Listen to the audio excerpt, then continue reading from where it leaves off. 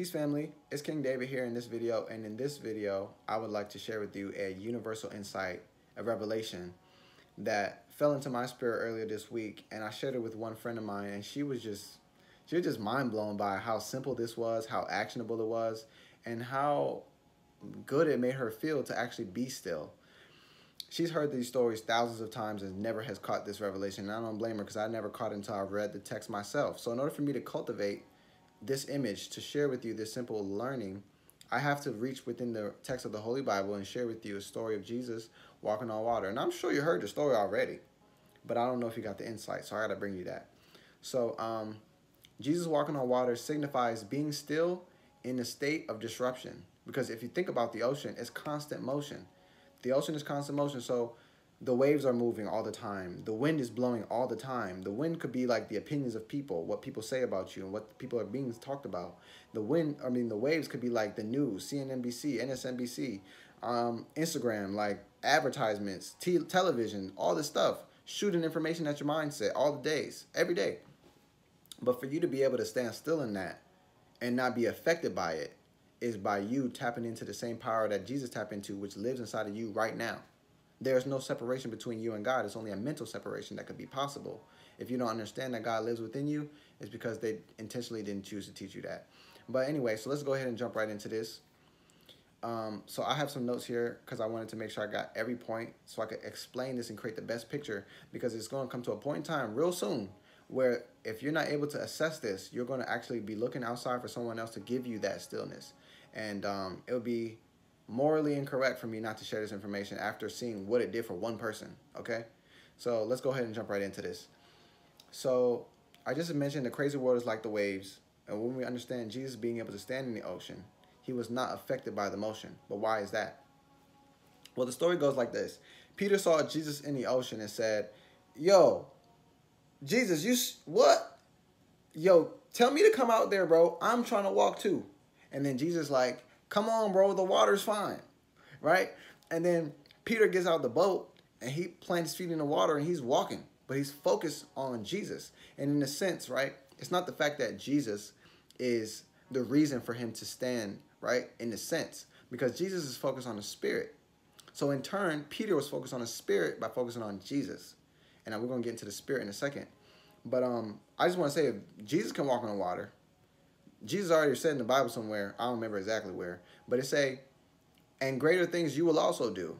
He's talking about he does great stuff, but you're to do greater things. So if he can walk on the water, nigga, I'm moonwalking on the water. Like that, okay? And Peter can do it too, then we all walking. You feel me? So let's get into this. All right, so um, what made Jesus able to walk on the water? If I can share my opinion here, would be that he had the ability to obtain stillness, standing in spirit, standing within the stillness. The Bible says in Psalms 46 that it says, Be still and know. Be still and know. It didn't say be still and believe. It said, Be still and know that I am God. That's exactly what it said. You can check it yourself. Okay, so I'm not sure if you know God, right? But I would just let you know that God do things that man can't understand. God will give you some ideas to do that man can't even fathom. You get what I'm saying? So when you align yourself with God, of course you're going to do stuff that man cannot fathom. Jesus was here in the story walking on water. Amongst other things, I just I just think we can conclude that Jesus was a professional stiller. Not not thief. He was a professional at being still. He he had a he had a habit he had a cultivation of energy that consistently allowed him to be still. He did miracles all over the place. He wasn't distracted by what's going on outside. He was standing with inside and he was still. Okay? Be still and know, right? So, with that, I guess we can also say being still and knowing God real good is something that Jesus was real good at. But does that mean that if you become still, that you can know God real good? A lot of us believe in God, but how many of us know God? How many of us know God? Well, let's get still and find out because that's some real truth. And in knowing God real good, do you think that you can also do things that man has never fathomed before? By knowing God real good, by being still, do you think you also could perform things like walking on water that people have never understood, never can see, never could imagine you doing?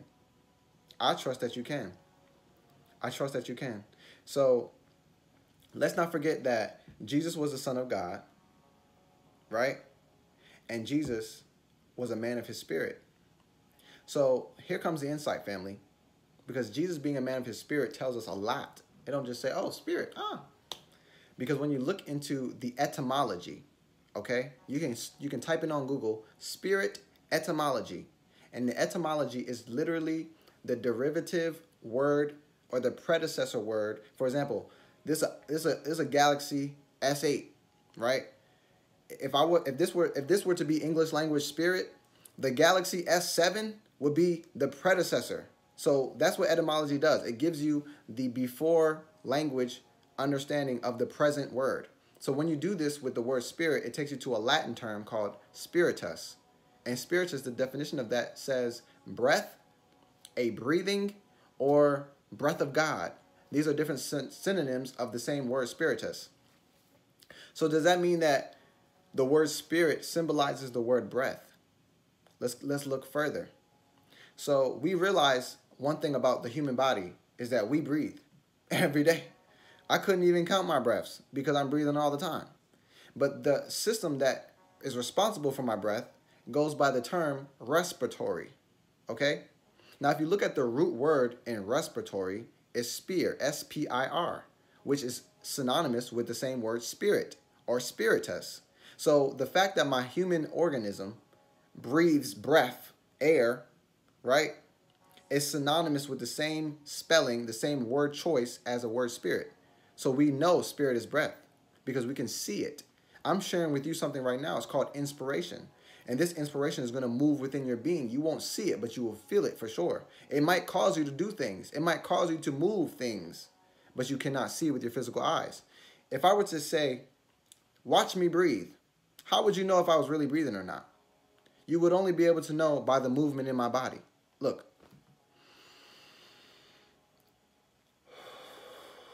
Can't see nothing. That's exactly what we're talking about. Spirit is invisible. Spirit is your breath. So you have to understand this.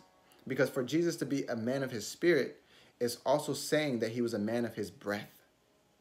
And when you understand the power of the breath, you understand that you can actually change the way you feel just by altering the way you breathe. Let's look deeper. Just a little deeper. so let me tell y'all right now, the universe don't make mistakes, y'all. I would say that men observe the universe and make mistakes out of what the universe has already extracted or shown us or given us. So the respiratory system, spirit, inspiration, all speaking of things invisible as far as what drives them. Okay? Breath. So does that mean that we can be more with God, that we can know God just by being still and aligning with our breath? Can you walk on water? What? You can walk on water like that? Moonwalk for me. Let me see. Let's continue. It doesn't really matter if the water is the ocean or not. Whatever the water might be in your life, we just give thanks right now for the ability to obtain stillness. Because it's an ability that we all have. I'll be moonwalking on the moon in a minute, y'all. And then I'm going to come back down here and moonwalk on the ocean real quick. And then I'm going to go over there and I'm going to be, I don't know, sun walking. I don't know. But let's continue. At the end of this, I'm going to walk you through an exercise that will assist you in becoming still with your breath. So I guess that's the end of the video because we're about to get into the exercise.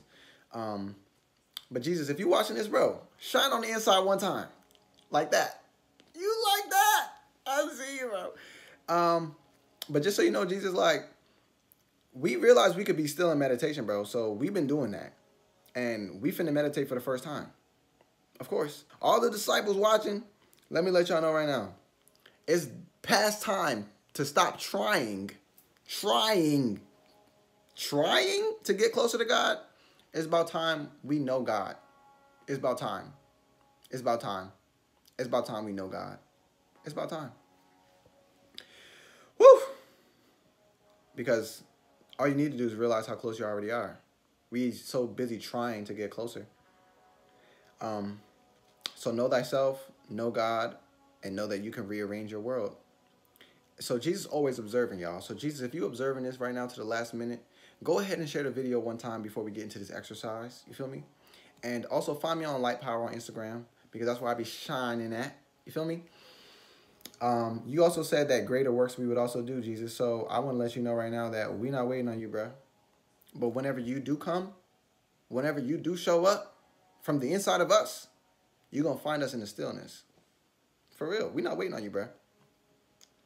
Take your time because we here now. We here. we not waiting on you, bro. Boom. So let's get into the exercise, y'all.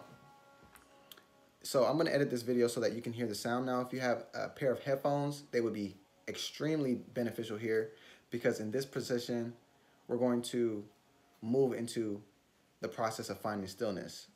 All right, so the exercise, I'm going to break it down for you, and then I'm to just go ahead and start, and then you can start with me. We got about four minutes to do this exercise. So what we're going to do is we're going to breathe in, but when we breathe in, we're going to breathe in through our nostrils and we're going to exhale through the mouth. Every time you exhale through the mouth, ensure that you exhale longer than you breathe in. So if you breathe in for four seconds, exhale for longer than that. Um, and we're going to just do this. If your mind focuses on something else, it's okay, just bring it back. If you get distracted and you do something different and you start thinking about something, just bring your mind back gently, back to the breathing. So we're going to do this for the remainder of this video, three minutes. Let's get into it.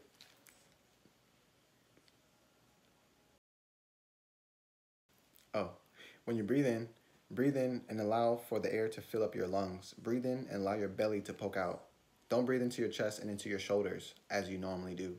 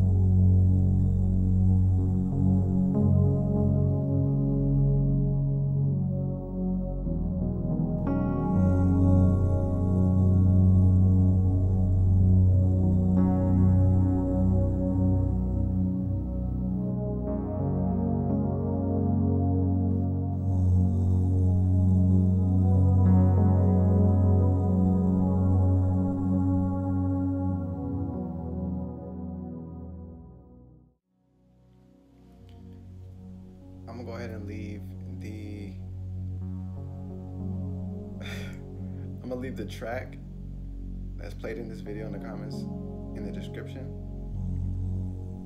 And I want to add this. The reason for practicing stillness is not to get good at practicing stillness.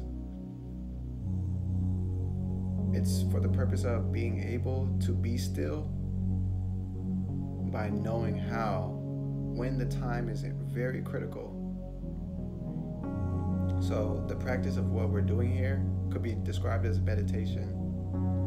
But meditation is not for the sake of being good at meditation.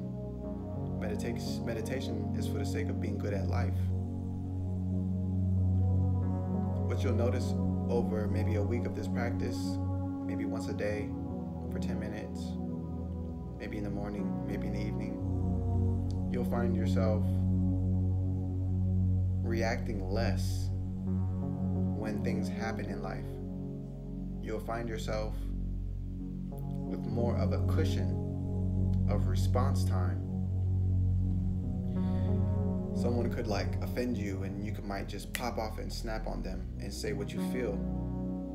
But over a period of time, utilizing this practice, you'll be able to understand everything that you've experienced within a few seconds, maybe two seconds, and you would respond in a way of more of a loving, compassionate way.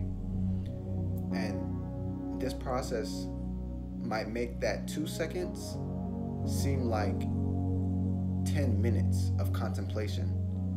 So, those two seconds of that person saying what they said, like, you are, you could just snap on a regular day. But with this, you might have the ability to say, they they talking to themselves. They're not seeing me.